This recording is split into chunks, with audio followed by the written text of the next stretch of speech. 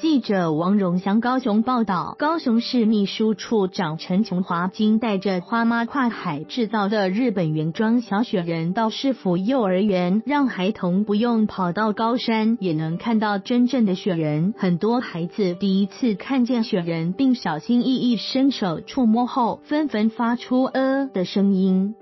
雪人外壳为保利龙制，是日本山形县知事吉村美容子日前造访高雄市政府时，专程从日本带来送给高雄市长陈菊。雪人壳里则装满来自山形县的冰，打开外壳就能碰触真正的雪。当时让市府许多官员惊叹：“是真的耶！”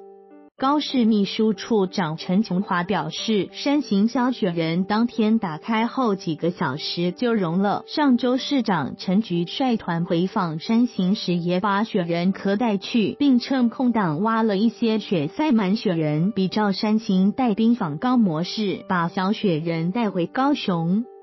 陈琼华指出，回程路上很担心融化，也怕碰撞，还好到了幼儿园时，雪人仍是完整的。他形容，当雪人在幼稚园小朋友面前完好现身，许多第一次看到雪人的小朋友小心翼翼伸出手去摸雪，发出呃的声音时，让他觉得有坚持、有做到的感觉，真美好。也要谢谢一路一起包、一起抱雪人的伙伴们。